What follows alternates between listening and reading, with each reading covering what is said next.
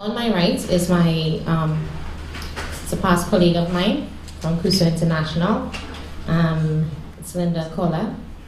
Uh, she is a community recreation supervisor at the City of Toronto Park.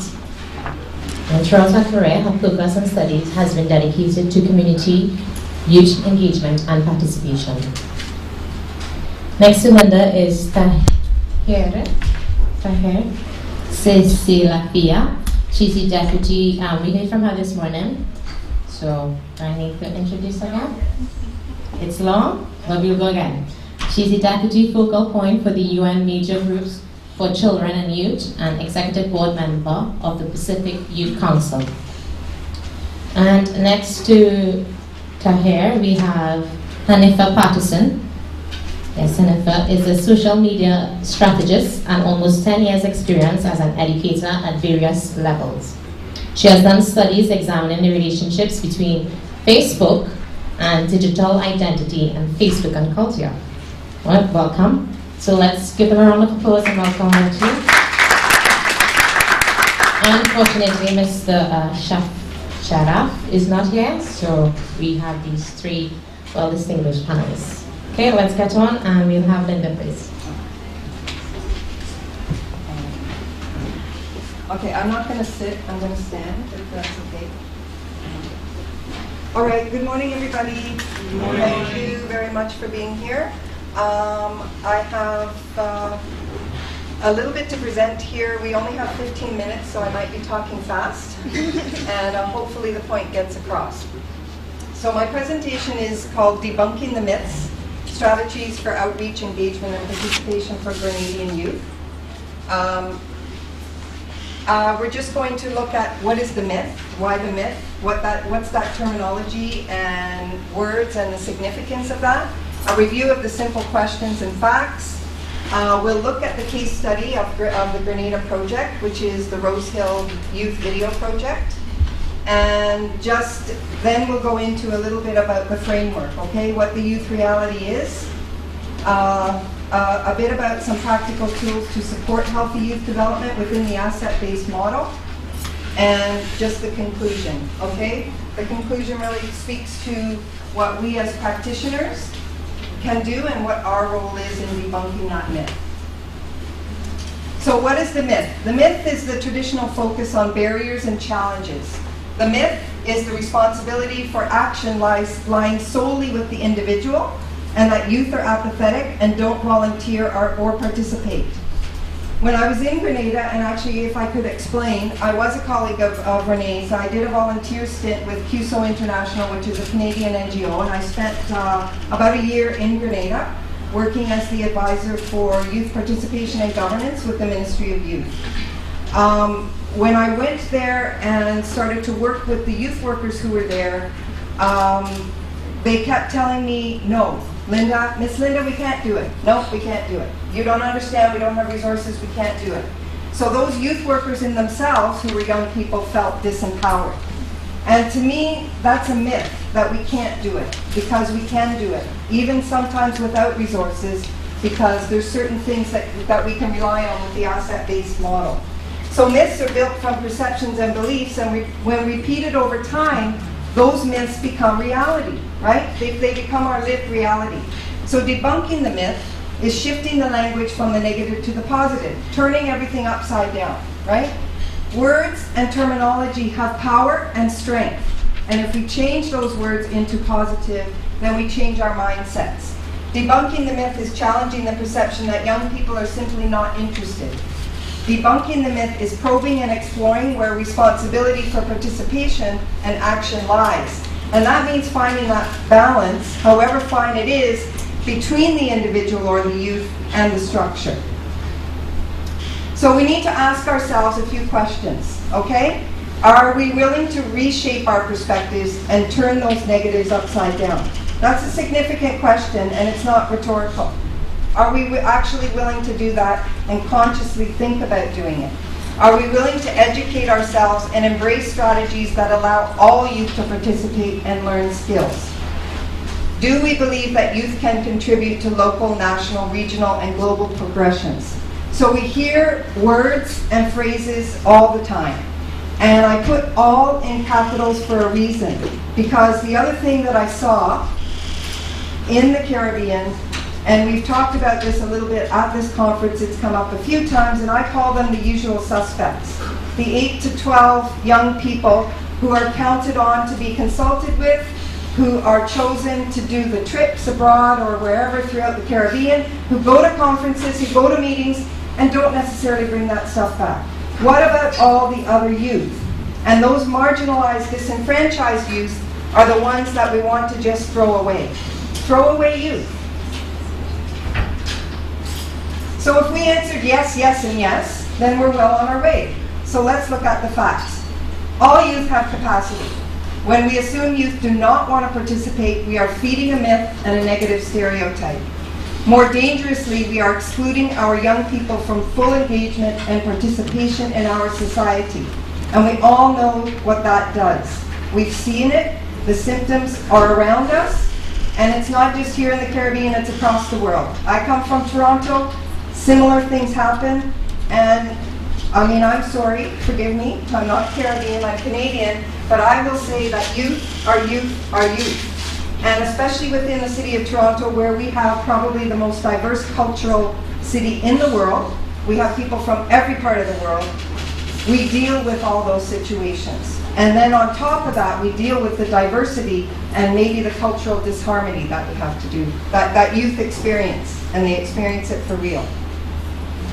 So some youth feel powerless, hopeless, or voiceless. And it's our job as youth leader, supervisor, or facility in charge. Oh, sorry, that's the wrong slide. That was for Toronto. Those are the jobs there. but it's our job as youth workers to start or continue a course of action that recognizes and embraces those strengths and abilities. All youth have the willingness and drive to participate given the right set of circumstances.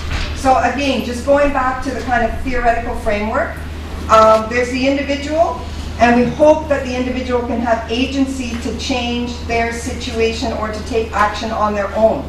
But we also have the structure, and we can't forget about that piece. The societal factors and circumstances which influence or limit the choices and opportunities available. And that's where we come in as part of the structure.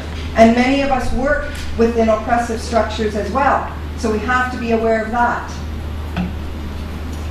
So the case study in Grenada was a video project, and I'll just say a little bit about how it started. So I, I started to go out in the field with the youth workers, and I ended up in St. Patrick, which is a parish on the north end of the island, in the village of Rose Hill, which is very stigmatized. Stigmatized for a number of reasons, and there are a lot of issues there that especially the young people encounter. It's rural, it's marginalized, it's stigmatized. There's high unemployment, prevalent dropout of school, lack of education, illiteracy, social, economic, and political exclusion.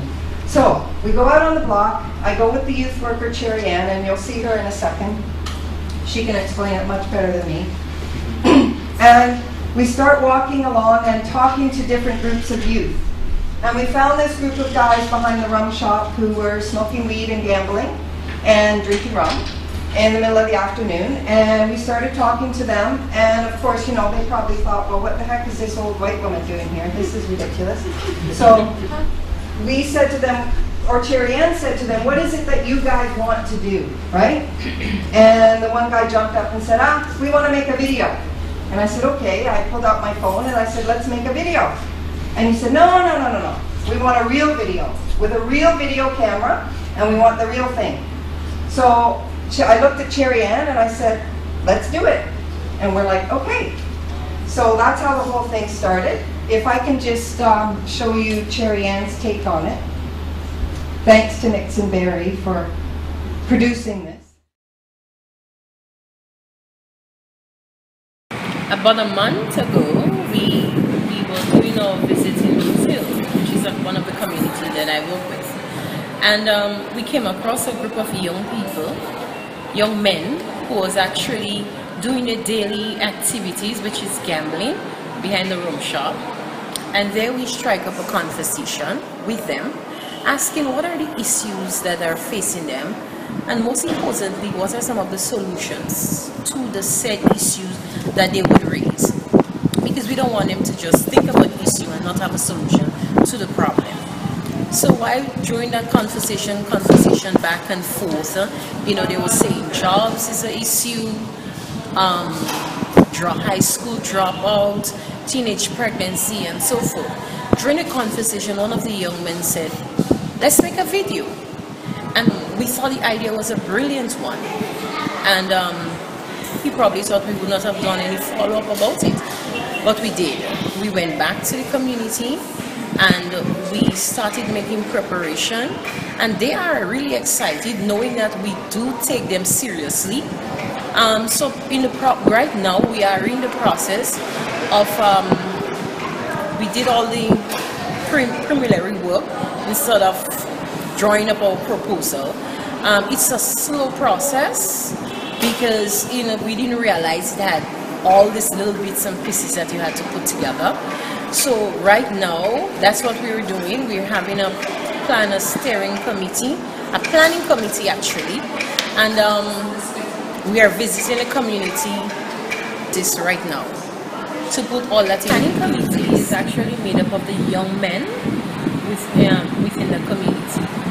We're, and then persons from different organizations. So I am actually just facilitating that that that project they are the ones who's going to come up with the ideas as to what it is that they want on the on the on the video and um, who we can we can identify in that video in order to tell their life stories. It's a community that is stigmatized with a lot of negativity. So we want to bring out the positive of, all, of these young people and showcase their, their talent there's a young man who actually who does farming, so we're going to feature him on the farm. And he he's one of the young men who have been entangled with the law. So his story. There's another young man who have a small business. He also had a very challenging past. So all these stories that we're going to bring up. So they are the young persons who's going to spearhead. We are just facilitating that. And in during that project, we we hoping not hoping actually. What we want to do is skill transference. So we're going to help them make decisions, positive decisions. Also, by then we should they should be able to come up with a skill as to being media, um, how to do video, the whole PR. So we are. This is what we are facilitating. So um, the youth reality she basically said it, right? And just looking at the research, that's a bit of it there. Throughout all the research that's been done in the Caribbean about Caribbean youth, there's an overwhelming sense of hopelessness among youth, especially marginalized and dis disenfranchised. But the sense of hopelessness is the greatest barrier, but it can also be looked at as the space that offers the greatest potential for resolution. So again, it's about what our mindset is, right? We can give up on that hopelessness, or we can use it as, a, as an avenue to start engaging and developing meaningful relationships. So youth are not the embodiment of problems that are endemic to society, yet this is the mythical diatribe that situates structural problems and challenges with the young people in our societies. Rather, youth are unduly impacted by the problems and challenges inherent in the society, created and perpetuated by the societal structure. So we, we used, um, as part of our framework in asset-based youth development, the ladder of participation to help us define and see a picture of the fact that we have a ladder and all youth have capacity, but they may come in uh, into us or engage with us with that different level of capacity. So they enter the ladder at a different rung. So if we're working with five youth or 10 youth, we have five or 10 different life patterns and, and activities that we need to support. So as Cherry Ann said, we have to facilitate that and be adaptable to whatever the youth bring to us. Because all youth are not going to jump on at the top rung with loads of capacity, you know, high levels of literacy, high levels of education, etc. We have to be willing to take that person that comes on the lower end of the rung and help him move him or her move through the ladder. So I've already said that. The Rose Hill Video Project, uh, what did we get out of it? It actually is not finished, and I left Grenada in April. And that may be due to a bit of lack of structural support, but I'm not going to go there. Um, Cherry Ann's on her own out in that community. We ended up getting a little bit of funding from CUSO and from St. George's University, which is the American University in Grenada. We hired a videographer who came from not that community, but a community similar to Rose Hill. By the time I left, I went to the last meeting. As Cherry Ann said, we committed to going there every single week. And those guys never thought we would come back because they've heard that so many times before. Yes, we're going to do this, we're going to help you, and then nobody shows up, right? We came back there every single week, and believe me, it was one step forward and two steps back. Because the guy who said he wanted to make the video, you know, we went the one week and he had smoked way too much weed, so we couldn't talk. Uh, the next time we went, somebody else who was supposed to be involved had robbed somebody and he was running away because he was going to get beat up. So it was a bit of a struggle, but we kept going. And by the time I left in April, the meeting was incredible. And I don't know how you measure that, but we had the meetings out on the street because that's the only place they wanted to meet. Um, one of the supervisors said, no, no, no, Cherry Ann, you have to have the meeting in the community center, which was way down the block and around the corner. But she said, no, this is where they want to meet. So the last meeting I went to was what they call the junction, where the two roads come together. And actually, when I started talking to those guys, they call it the Gaza because they want to be like Jamaica.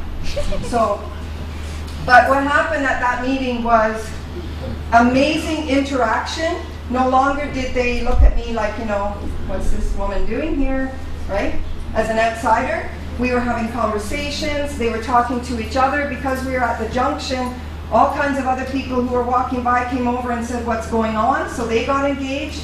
You know, they had their cooking going on in the corner, and, you know, with the pot on the fire, and it, the joy in all of those guys, like, and the exuberance and the excitement, and what came out of it was they, at that meeting, they said, we want you to bring the senator next time because we have a few things to say to the senator. Advocacy, right? At its lowest level, but it's still advocacy. So there are a few tools, and I'm not going to go through this because I don't have time. but I think we do need practical tools. We can talk about theory, we can talk about the sense of hopelessness, we can talk about turning words upside down, but we actually need the tools to go out there to help us, you know, deliver that asset-based model. so, of course, in our minds, we have to have the concept and understanding of what a transformative and asset-based youth development policy is. And I got that from the Grenada National Youth Policy that was drafted while I was there, uh, a great document. We have to understand the difference between equity and equality. There's a difference. We can use the ladder of participation as a way of looking at youth and how they engage. In Toronto, we've developed the Youth Leadership Framework, which is five simple principles of healthy youth development, which can basically guide us in whatever we do with youth, not just leadership programs. Um, using project planning to engage all youth in a process. The project of the video wasn't us coming in saying, okay, we're going to do a curriculum-based youth leadership program with you or skills development. No, it was what do they want to do and using that project to take them through a process. By youth and for youth is very important, okay, and again, it's not just words. Empowering youth, that's a brand that we use, that my youth staff in Toronto have developed for um, saying that we have to empower youth workers in order to then go empower youth. Um, so just a, a di quick diagram to show the difference between equality and equity. Okay? We have to accommodate. In equity, we accommodate to allow everybody to have the same view. Um, Youth Leadership Framework. I have some handouts here with uh, one-pagers if you're interested in that. Um, just equity, diversity, and inclusion we all have those usual suspects, right? The small core group of youth volunteers who readily participate and take on responsibility. But accommodating diversity and being inclusive means broadening our notions of positive youth identity. Is it possible for us to expand our definition, our scope of inclusion, and therefore our supports?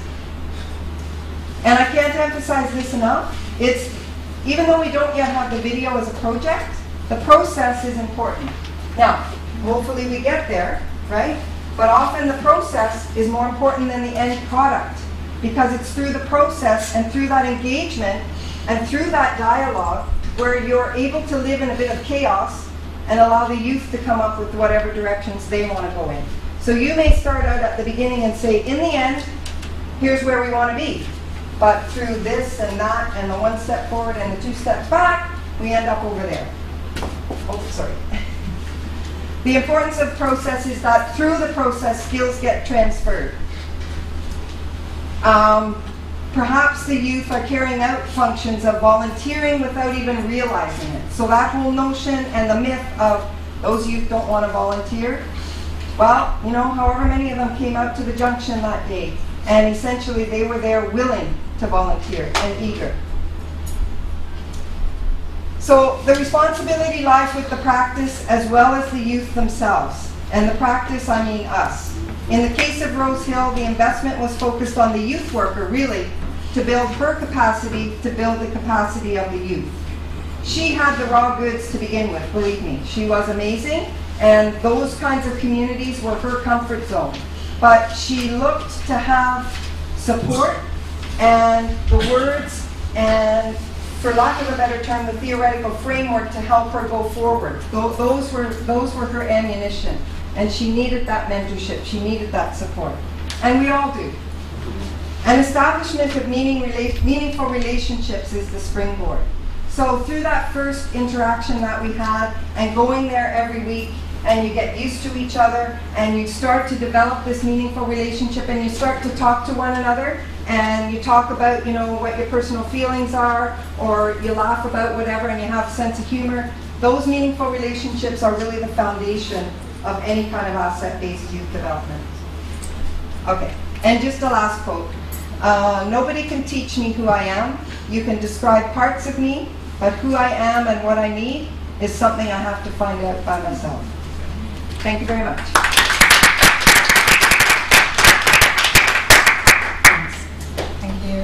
You very much, Linda. And let's move along.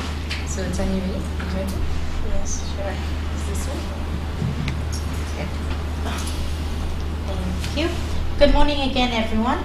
Good morning. Um, my presentation is on um, my research that I conducted for um, my final paper. Um, and I conduct my topic was exploring the intrinsic benefits of young people's participation in the arts.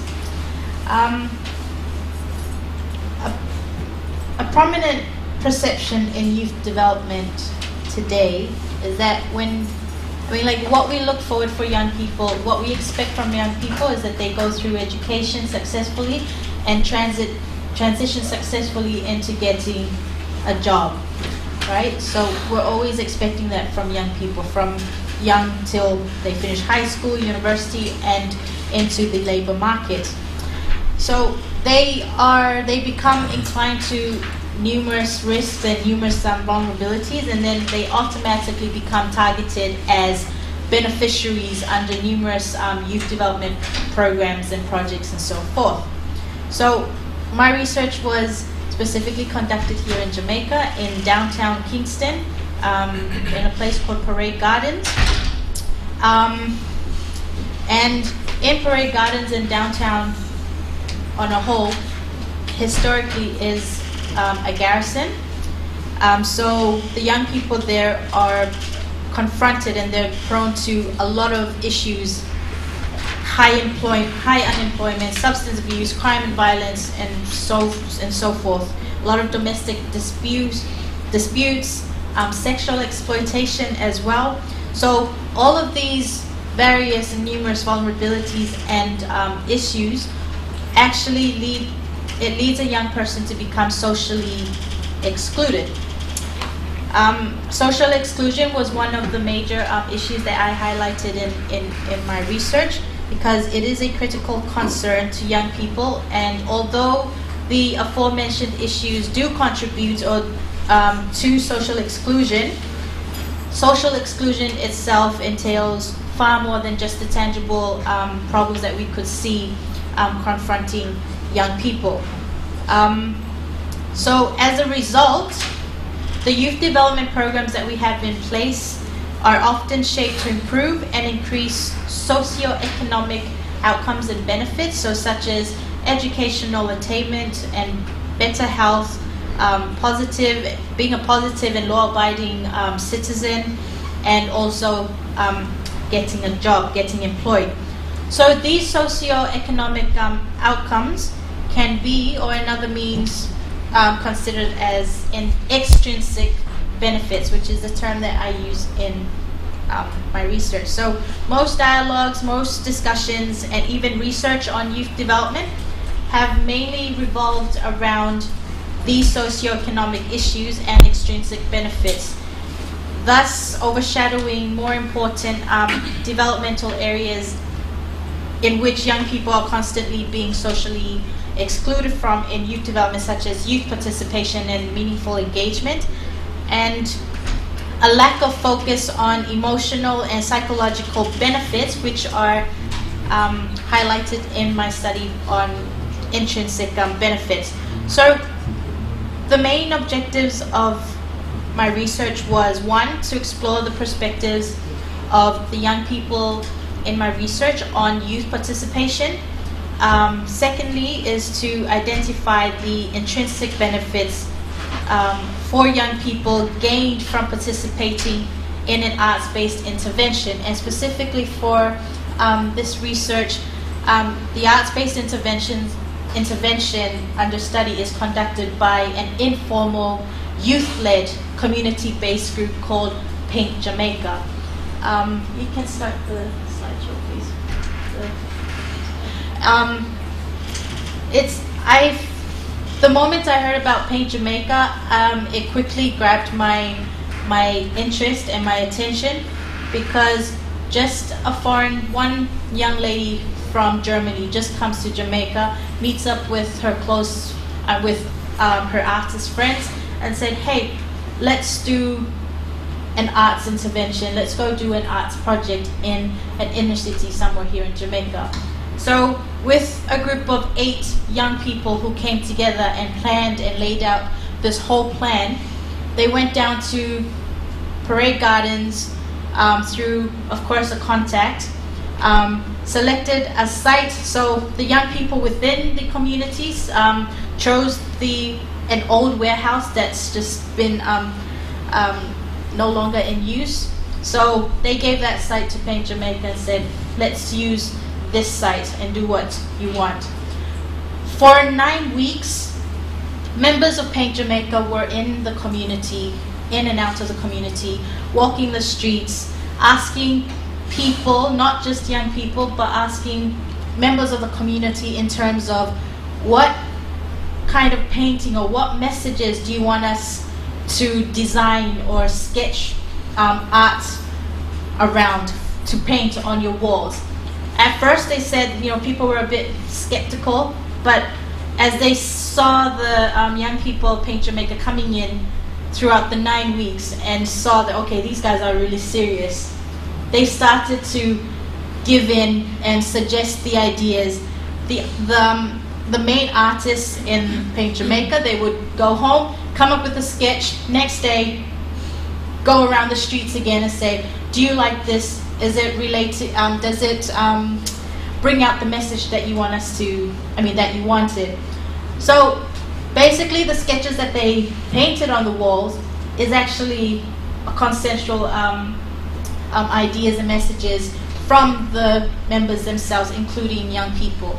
So, um, in terms of I guess what my research was really looking at was also from the informal um, side of um, youth of youth development. Um, yes, of youth development, because I feel that a lot of um, our programs focus so much on trying to get socioeconomic benefits for young people, and then we lack so much on developing very important moral and um, psychological what uh, intrinsic yes um, well-being of young people. So for instance if you if a young person gets a job right just any job is that young person, um, does that young person value his or her job, right? Because if that person's intrinsic um, doesn't find any intrinsic value in what they do, then they will easily fail in what they do because that's they don't see any value in it. Therefore, they don't see values in themselves in doing whatever they're doing. So, what paint? What I really looked at was how did this group of young people just come together, an informal group, and go down into a community and start this project on their own um, getting funds and paint from donations through donations and fundraising on their own. Just go in there, consult the community, and they started um, engaging young people. So most the um, it was mostly uh, sorry, it was mostly 10 to 14. So it was mostly adolescents who were participating in in the in the um, arts project and some of the community members. As of now, a, a community-based group that already existed in Parade Gardens called Life Yard. If you go down there today, they don't miss a single foreigner or a number of visitors now coming into Parade Gardens to visit. Artists and uh, music artists are coming into Parade Gardens now just to either add on to what's already there or contribute to Life Yard. So Paint Jamaica at the moment is now like on on hold with the project, but Life Yard, they've really Paint Jamaica has really impacted on this community-based group that they've rise to the occasion. They've come up with their own projects, right? They've organized um, art projects, um, drum drum classes, and other um, little initiatives for, for the young people, engaging young people, especially adolescents within, within their community. So really, I was interested in finding out how these young people felt when they were engaging in this arts-based um, intervention. What I really got out of it was, it was the responses from the young people really reflected. It was mainly to do with though with the Paint Jamaica, mem- with members of the Paint Jamaica, not only because they were young, but the, um, the, the adolescents shared that they've never met or they've never been in a diverse group of um, young people, not just um, ethnic backgrounds, but the different um, uh, artistic talents that they had because they started to have yoga, they started to have um, dance classes. They started to have all sorts of um, uh, talented people coming into to the community and teaching them different things. So, okay, five minutes. So, um, what I got from it important um, was that they it was really it was really the process of how Paint Jamaica did it that really played the most impact on on on the young people because they mentioned and they shared even the older youth. They shared that they've been they've had some mainstream um, youth development programs happening, like entrepreneurship um, and capacity building life skills um, programs happening in their community, but they really didn't feel like something. they didn't really feel like they gained anything out of it, and they used this. Um, they used Paint Jamaica as an example of making them really feel like they belonged um, finally um, to something because even though the group who organized this is from outside of the community, but they, the process of how they did things really gave a sense of belonging to the young people who were there and most importantly to the wider community. So at the end of it, I've actually found that um, even through some of the informal um, youth work that we do, it does give um, a lot of um, intrinsic benefits benefits for young people, but it really does depend on the process of how we carry out whatever program or whatever project that we do. So that's what I learned from them. It's how they did it not exactly what they did. It's just how Jamaica engage, Paint Jamaica engaged them in the process that really mattered and really impacted on um, the young people in Parade Gardens. So I guess I'll stop there.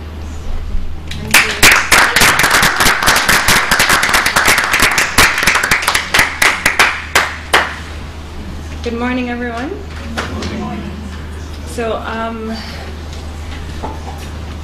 uh, what I'll be speaking on, the, the absence of my, well, let's, let's start here.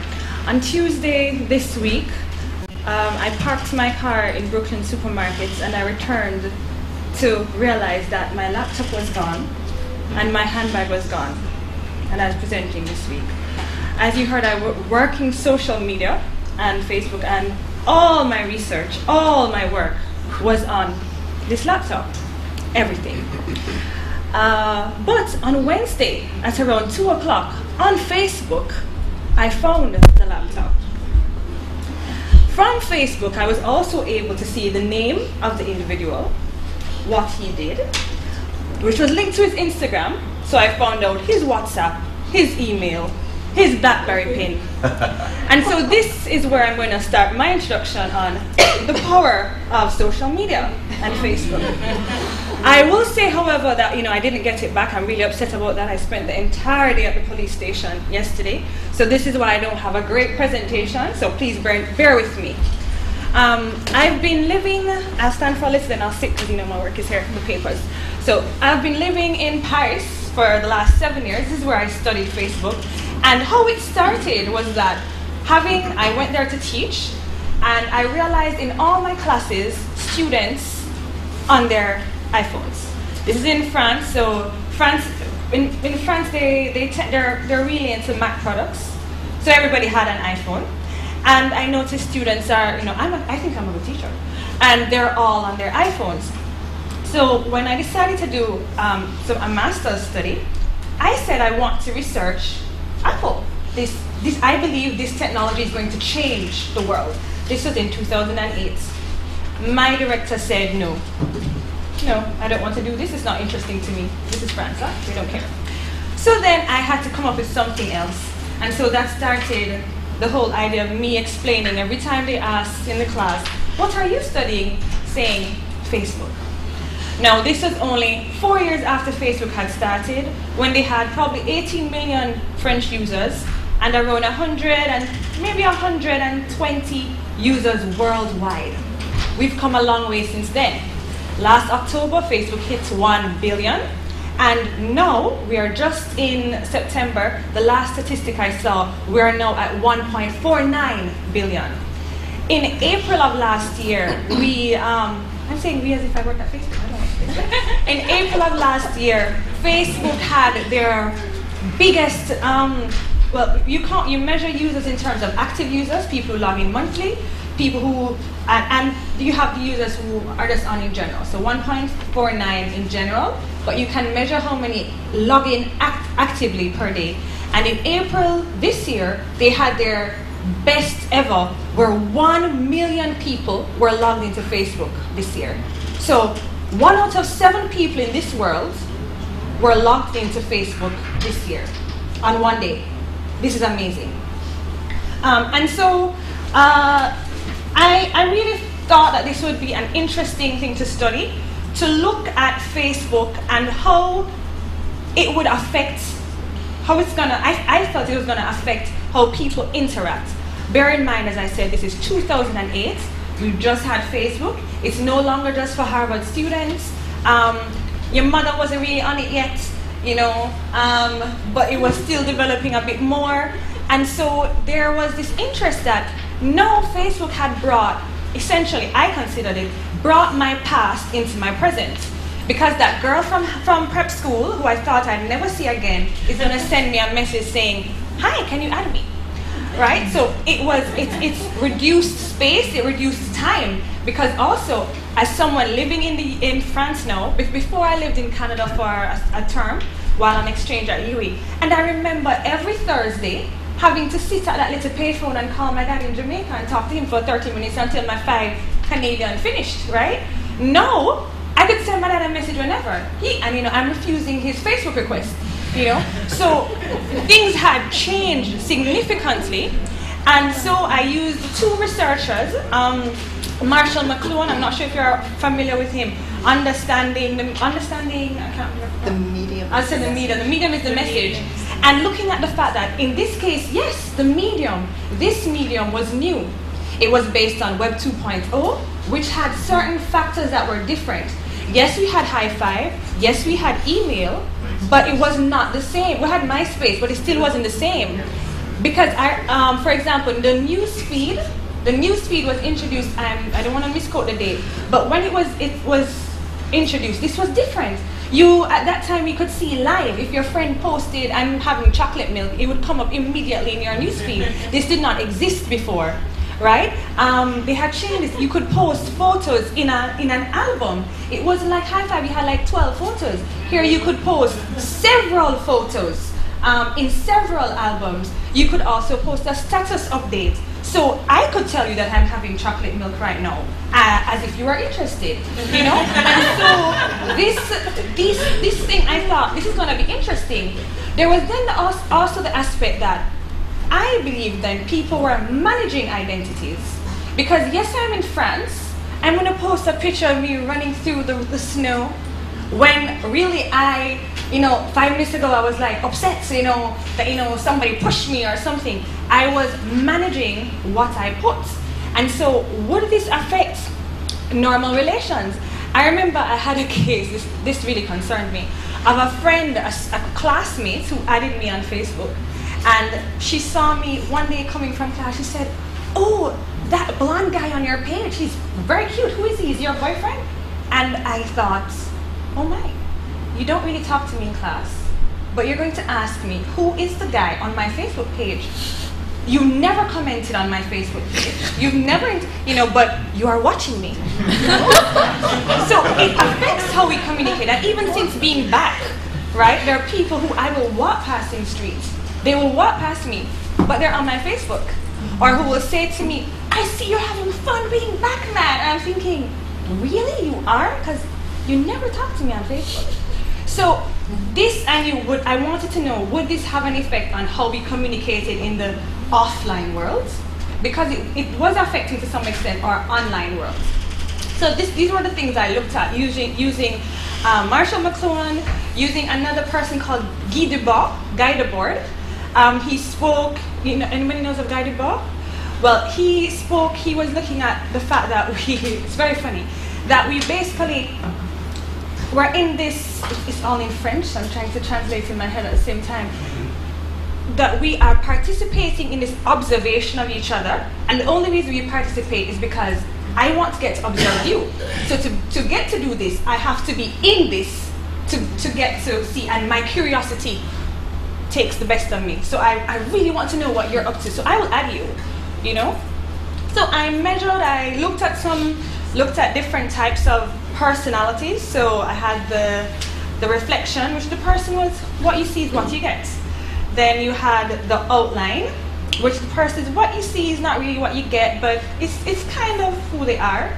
Um, then I had the shadow, the shadow, and for the shadow is that this is the kind of person, I'm sure we all know them, who they probably have a cat for their Facebook picture. They're, you know, they're watching, they, they're, they have a Facebook presence, but they're not really, they're, they're really there to watch, you know, they're not really, you don't really know anything about them. And then you have the chameleon, the person who probably has, at that time, people, you had Facebook pages that were Jesus Christ. There were several Jesus Christ Facebook pages.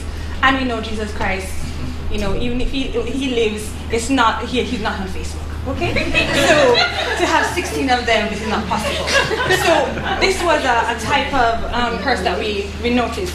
So all these things I felt were relevant. Now let's flash forward to today. I'm going to just give you a few statistics. I only have 15 minutes, so I can't go into all the details. But, um, and it's all lost. But anyway, um, just to give you a bit of the detail, I just want to show you the state of Facebook now compared to then. Then you had a 60 character limit on what you could write. Then you had um, only 60 photos until people like, no, we want more. They gave them more. Um, one statistic suggests that 350 million photos are uploaded per day, right? Fa- YouTube was the great, was, I think Facebook has now surpassed YouTube in terms of video. So Facebook is dominant. Social media is here to stay and it's, gonna, it's going to change the world. Um, has changed the world. So just a few statistics to show you the change now, um, and then to get to the point of why I think this is important to the Caribbean and why we focus, how we can focus this in the Caribbean, um, is that every second, pardon, every second there are 20,000 people on Facebook. This, mean eight, this means that in just 18 minutes there are 11 million users on Facebook. Um, 79% of users are using it from their mobile. Um, every minute there are 150, every minute there are 150,000 messages sent. Every 15 minutes there are over 49 million posts. Or so, to, to be precise, 49,433,000 or 3 million posts per minute. Okay? There are 100,000 friend requests every minute. Facebook generates, brace yourself, 1.4 million in revenue every hour. Facebook generated 12.47 billion in sales in 2014, and that's a rise of 58% in one year. Okay, and this is driven a lot by mobile. Okay, um, 31% of US senior citizens are on mobile, and contrary to popular belief, the largest number, the largest demographic on Facebook now is over 45s. I heard a girl, somebody said, you're on Facebook, and the girl's like, nobody, I, am not on Facebook, nobody's on, I don't use Facebook that way anymore. It's, it's Instagram or it's Twitter. So Facebook is so last year. so, okay, 66 um, percent of millennials use Facebook, and this one is funny too. People spend 927 million hours a month playing Facebook games. okay? Um, and just some general statistics now, because Instagram, I'll let you know that Instagram is owned by Facebook, so is WhatsApp. They also just recently bought something called Oculus, Oculus Rift. It is virtual reality, and I read a post by Mark, Mark, I don't know him personally, Mark Zuckerberg, and he said that this is the future because imagine being able to play your games, no more Candy Crush on your phone, but through virtual reality. Imagine also being able to consult your doctor through virtual reality where you can sit, not on Skype, but where it feels as if you can touch your doctor. This is the direction Facebook is going. Um, and so, I'm gonna, I'm gonna go fast because I think I have a little time. Um, so, every, just on LinkedIn, every third, every two seconds, two new members join LinkedIn. Social media has taken over porn as the number one online activity. Uh, yeah. right? No, it, no. So communicate, communi- and this is it. This is where I'm going. Communication. Com- well, let me not go there just yet. Let me follow my my my little presentation. So, um, what I'm saying about that is that today Facebook is uh, amazing. In that there are 700 million users. There are 700 million users on WhatsApp. 600 million users on Facebook Messenger, and 300, over 300 million on Instagram. And Facebook owns this. What is the, the solid, what's the, the, the central item? It's data. Data is important.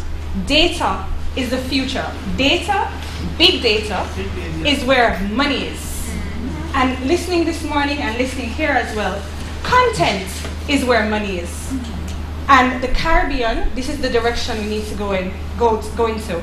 We are talented people. I'm telling you, no offense to anybody from any other country. I know wonderful people from many other countries. One of my best friends is Dutch, but there's something in the water in Jamaica. We're special. There's something, we're very creative. And I think this is ideal for us. This is a way for us to focus on the theme. As in, let's focus on this. Yes, there are many challenges. Yes, there's a lot of crime. But we can become the place where content is created. Where we create excellent films, where we, films, you mentioned it, excellent art. Where we create excellent movies, where we push this out On YouTube, there are being there on YouTube right now. There are people who do not need to work. YouTube pays them per subscriber and per video. There are people. Their job is to be a YouTuber. They help Google get money, right? Um, so this can be a solution to many of the issues that we're having here. Um, I understand that Bella Blair, that girl who does the videos, um, she's the first uh, from her Instagram. I saw her say she's the first um, local person to, to be paid by YouTube, right? So this is a solution because guess what? We don't need the best camera. We don't need. I, I would prefer to have my MacBook, but we don't need it. We can do it with an iPhone. We can create great content.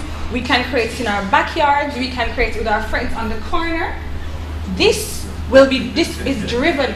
The majority, people are always asking, and this is the, the part of me as a social media strategist now, because I saw that there would be potential for this, is that people are always asking me, how can we become, vi- how can I go, oh Lord, one minute, how can I go viral? The thing is, you don't go viral, you create, you, don't plan. You create content, you keep creating content until one day somebody or a group of people resonate with the content so much that it goes viral. You don't plan to go viral. That's like saying, let's plan to get a cold. You don't plan it. But if you get it, everybody in your house is going to get it too, and probably your neighbors if they send their kid over. So this is how it works, right? And so I'm just going to quickly give the last points that I had. Um, if I can have like 30 seconds, please. Um, the very last one, it was just that I think for me, what happened to me was that my director was not very encouraging because he could not see the vision of Facebook. He told me, oh, Facebook c'est quoi? What is Facebook? Ah, c'est rien. C'est télé, it's TV. TV is still, is still, and he lived to eat his words. So I think this will be the challenge today. I. This will be the challenge today that in moving forward, we're going to have to have a level of bravery, a level to be willing that vision, not everybody will have the vision, that we will have to be trailblazers. A trailblazer doesn't get everybody ahead, you know, get everybody with you. You go ahead of it. And I've realized I, I didn't publish my work, and now I'm seeing people who publish similar things, and I go, oh, there. But in the Caribbean, we need people who, as in her case, people who come and support to say, yes, this app that you have is a great idea. We are going to push it forward and make it awesome, right? So we, I want people, just I'm going to just list the points that I had, that we need to observe and listen. Observe what problems are around. What is causing the problem? So Facebook was causing me a problem in my classes. So now, observe it. Then the next step, we need to question, see how can I use this same issue, how can I then use Facebook to solve a problem? Because if they're, if they're going to use Facebook, they're going to use Facebook. So how can I use Facebook? I can probably have a Facebook group for my class. I can, you know, get it involved, um, get them involved. I'm really just reading the points. I know I only have like 30 seconds. Um, seek. So read widely. That a lot of time, many times, many ideas I get regarding my studies, regarding Facebook, or you know, like you know, sometimes I feel obsessed with it, but um, it's, it's from ordinary people. Has nothing to do with with social media, but this feeds. Um, it, it feeds. It, it it, it just gives you an idea. It murders and has this idea babies. You didn't plan for it. You know, you understand? So this is why we should read extensively, speak to different people, because you never know. Something just catches a spark and you go, ah, this could go with that. And something interesting could be born. So I'm encouraging the youth to read, um, solve a problem. Being ab- the, the abstract, abstract issues are no longer, it's no longer, people don't care. People want to know, okay, you got this great idea, how can we make money? How can it change somebody's life? So if it's even a game, who would have thought planting little, uh, doing little animals on Facebook would make millions? With, with, who would have thought this? No, but we can do it. Um, uh, and the last thing, harness big data. Let's find ways. There's not a lot of big data in the, in the Caribbean, very little information. We need to then start doing research to find out how many users are on Facebook from Jamaica. How are we using it? Why are we using it this way? Because then this is what Facebook uses and what we can use to drive sales, to sell advertising, to create great products that can then be exported or can just develop other industries here. And the last thing I assure you is to, you know, as I said, step out into step out with the challenges, you know, go ahead and push forward even if others don't support you. Um, so that's the end of my presentation. Uh, thank you.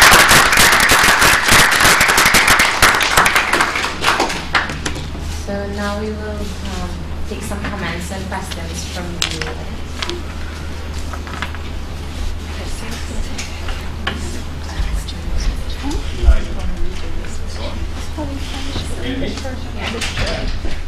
Lyndon Wilson, Trinidad and Tobago, the Tobago part of it, I must say that. Uh, I saw interesting advertisement last night. So there was this guy, he's celebrating that he has this latest i6, whatever it is. And there's this other guy saying, oh yeah, I, I warming up my leftovers from tomorrow.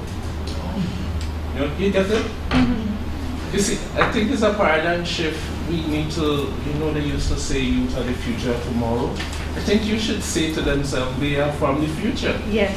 So in that way, they're offering solutions now and for the future. You know, and, and that's when we need to take the paradigm shift to encourage creativity and innovativity, that kind of thing within the region and the, the global space. Uh, I think a lot, we are consumers of what's happening in, in, in, in, in the more bigger global Yeah. picture. Um, one of the things, the other part of it, and that will come with the other presentation from Linda, Linda and Tahere, is that I've learned from my practice of youth development is young people just waiting to be engaged. You, know. you wouldn't believe all the, the myths you talk about the myths. Yeah, they're hopeless. But if you go to them genuinely and you want to help, they will participate, you know? And I think that's one of the key for the practice of youth development is that we engage you, engage them where they're at.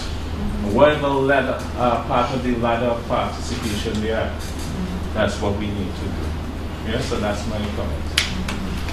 Um, I think the point you made is, is I had a great first point, I forgot. But the second point, I think this is why Facebook and social media does well because it is engaging the youth. So when they don't have the time, when they when they don't have anything to do, this is it. They can go online and watch something. This is always there. This is how it is designed, and then big companies can make the money from this. Um, this is what social media is about. I'm always telling clients it's about getting your cli- your followers engaged. So it's very interesting using the terminology. You know how he, he put it, kind of like clicked for me that yes, engagement is um, is the the key. And so yeah, we need to do that. I can't remember the first point. It was it was okay, but sorry. Does anyone else?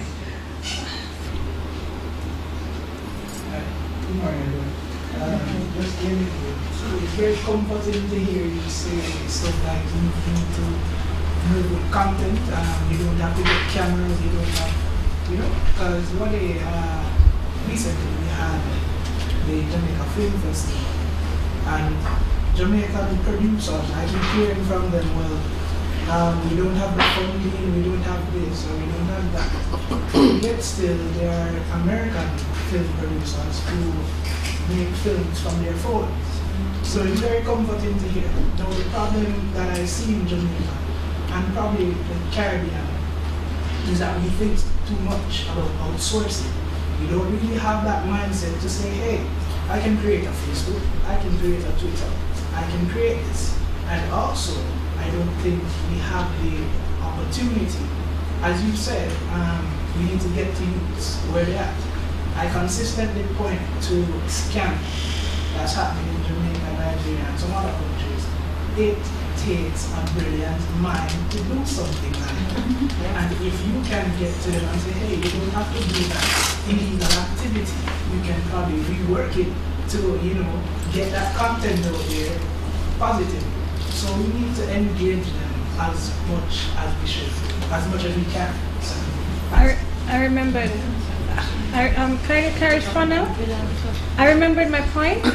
Um, it's basically that in the US, in, in other countries, the culture, as you said, focuses, pardon, in Europe, in the US, the culture sees youth, as he said, the future. that they are the brilliant minds of the future. So they don't have the, the, the, the thought, like the lady said before, of I should be seen and not heard. Or in Jamaica, I'm, I feel like I want to be heard, but I feel guilty because somebody's going to shut me down. They feel entitled to be heard. So they are going to do it. They think I have the, and this can can be negative. I didn't touch on that, but there's a negative aspect because this is why we have some videos on Facebook that really you should click the report button and get it reported. They're inappropriate, but they really feel entitled to be heard. So as he's saying, if we can get them to say, I can be heard and I can get guidance to be heard in the right way, then we can use the content. But the other content with you know certain certain videos, you know, that I've seen, we know that this cannot, this is only going to give a wrong image of the Caribbean, which we don't want. So we have to really, there's a responsibility on our part to manage it as well, especially to social, social shaming. I don't know if you've noticed that as well. So these are some issues that we have to manage while allowing them to, ex- to you know, explore and flourish. Oh, Thank you. One more, one more quick comment. Just a quick comment. Thank you very much for bringing that issue up. That's the creativity of all youth, right? No matter what, what, where they are on the spectrum. And yes, we need to start recognizing that. I read an article in the in the Toronto paper the other day about this super jail that they built, this prison, and they're having all these problems, and they actually could not. Uh, it said in the article they could not serve food on styrofoam con- in styrofoam containers anymore because those guys found a way to melt this stuff over and over and over and over again and make a knife. Okay? And I thought, my God, that is like such creativity. We are really doing something wrong. We need to go in these prisons and instead of throwing those people away, we need to capitalize on the creativity that they have. So. Hi, good, good morning. I think we, I just wanted to ask a question. I think for a hex group. Oh, I'm sorry. My name is Jane Asherman. I'm from Jamaica and I work with National Integrity Action. So this question is actually to. Our, our organization is a not-for-profit and what we do is it's an anti-corruption organization. So what we what we've been trying to do for the better half of the well, the for the latter part of the year is to try to engage youth on social media. When we started out, we actually had about 200 likes, most of which were not. So we tried various things. We, we got a social media specialist, and that didn't work out. And then we tried doing it in-house ourselves. So we tried to break down information into bite-sized pieces. We tried to use memes, videos, trying asking them when we go out to meet them to to take pictures, tell them to like the post, tag themselves in the picture, share it with their friends, show what you're doing. And only just broken a thousand plus likes. Now when we go on and we see who is sharing our content, right? Remember this is content pertaining to government stuff like that. It is the same persons and a lot of the persons are actually outside of Jamaica. How it feels that we can get you to move away from sharing just their party pictures the one the, the run of the mill stuff that they do every day, like what they eat for breakfast, to actually having conversations on social media about governance and how to get involved. Because you're finding that this is where they are, but how do you get them into the conversation? Because we've been trying, we try to post at various hours of the day to see which is best. All of that kind of stuff, you know, but it's just not, it's just not working.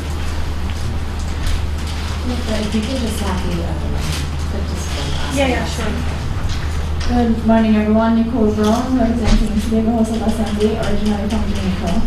Um, I wanted to know in terms of the the issue with social media.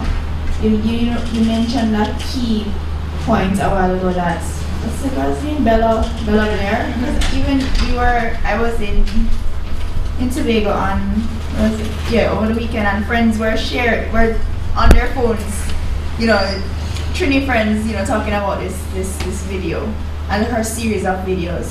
What I wanted to know is that I've noticed that a lot um, that in the Caribbean we are very much whether it is Facebook or whether it is cars, shoes, whatever it is, we are mass consumers of whatever it is. So nowadays we have the social media how do we change our mindset as a people, not just one or two individuals, but as an entire people of the Caribbean, mind, change that mindset from being mass consumers to being mass producers so that we are on the, the end of the profitability side of things. So not just that we are spending X amount of hours on social media, but we are gaining X amount of revenue from using social media. How do we change that mindset as a society? Okay, I'm trying to remember those two questions. Um, first thing, um, what's your name again? Jamie. Jamie. Okay, listening to you, you've done all the strategies. It's clear. I was like, okay, okay, okay, taking them off mentally. Um, however, social media is about getting people to like, know, and trust you. So you need to ask yourself, have you done that? That's one. Do people, social media also has to go with traditional marketing. Many people don't realize that. They think social media is just on its own. No. Why? In the beginning, if you notice on Facebook, you could get everything. If somebody ate chocolate at 2, you'd see it in your newsfeed. If they, ate at, if they ate a sweet at 2.30, you get it in your newsfeed. Now Facebook is only showing you the last statistic I heard, I think it was 10%, it's 10%, I wrote something on it. Um, because if you have you have a hundred, a thousand five hundred posts, when they worked it out, the average number of users 150, and there are people who have more friends than 150. So I have 1,500. And so you multiply that by every post that people make, you're gonna get a lot of information. So Facebook wants to manage the quality of information, and so they've they've changed their algorithm to manage that. So you don't see every post. So of your thousand likes, when you post something, all the thousand doesn't see. They don't see it. Just to let you know, they don't. Actually, it has declined so much from it was 16% in 2013, went down to 14, went down to 12.5. Now, in some cases, only 1% of the people on your, your the likes see. So if you have even a million likes, only 1% of them will see. So don't knock yourself, you're doing your best. However, Facebook is tired of doing all of this for free. They want to make money. They, I know, personally, I know marketers who, they don't deal with social media clients unless they're, you, as a client, you can spend half a million dollars, US, in ads and so forth. They play the big games, big shots, right? So money is being made. So for for you, I want to say that you have to you don't boosting is we need to speak boosting take time with the boosting um, but ads facebook ads they want you to spend your money so they cut down what you can see do you understand also you have to be spe- specific with your audience and i suggest that you, you get the youth more involved offline in this cause they need to see this cause as important um, and i believe tapping into your question i don't think that many youth are, you know, socially conscious. You know, that we talk a big talk, but we're not really engaged in in projects like because the project I've never heard of this project. You see, and you, you we we know only. Uh, uh, I remember when I was at UWI, that's uh, about 15 years ago. It was like only three percent of the population was university educated. That was the statistic I saw. I'm sure it's higher now, but it's still not the majority. So the people who are interested, who should be interested, what do we do? We leave for better opportunities. So probably you need to find some new ways of getting youth involved. So we've seen, for example, I think Digicel does a good job. And the reason they do a good job, why? Because they have huge underground marketing. They have Digicel Rising Stars. They have their, they're, they're running the marathons. They do a lot that pushes um, their social media, that drives their social media. So I would suggest that. To answer your question, your question again was how do we get people more in From being consumers, Consumers. to being producers in whatever it is. So now social media is I think people are getting involved now. There's there's quite Perry, there are all these people who are getting involved and, and creating. But I think I think sometimes it could be an issue of confidence. If they don't feel that what they have to say is worthwhile, and I think many people have that issue, they may not feel that what they have to say is worthwhile. So if we can get people to know that what you have to say is worthwhile, that this joke you, you are good at you're good at giving jokes. Why don't you try making a video on jokes? My brother is great at science and I keep telling him, you need to do some videos on these things because these things I don't know. And he says, ha ha ha. So it could be a lackadaisical attitude as well, and it could also be that we just don't feel confident enough. So that's something that we can probably work on to, to encourage stu- students, probably in schools, to get that done more in schools. Just as how they're giving out those tablets, probably cameras, probably more activities like what she mentioned. I'm thinking. We- So we have one more, and then we. Um, my name is Sylvia Wilkes, and I'm from the Cayman Islands, um, but I'm, I've been studying over here for a couple of years.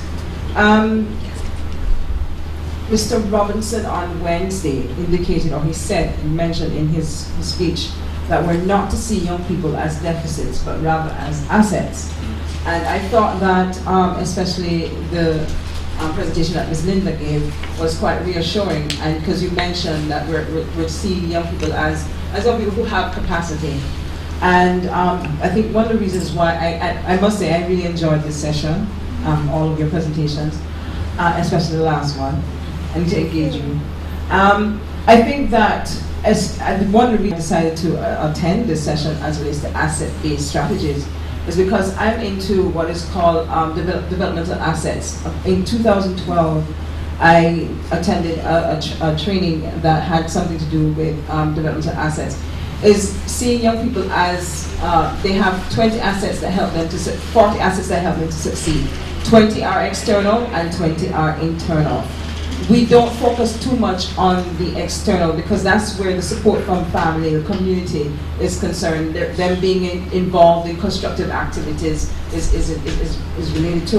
I think one of the things that we, I don't hear coming out much is the focus on the individual to be successful rather than focusing on young people generally we need to see them as, as, as, as individuals that we want to be successful in wherever they are now rather than waiting till the future so I don't know if you want to comment on that I think that speaks to the point of what I was saying. if you're running any kind of a program, I work in recreation, so we use recreation as the avenue to get youth in the building.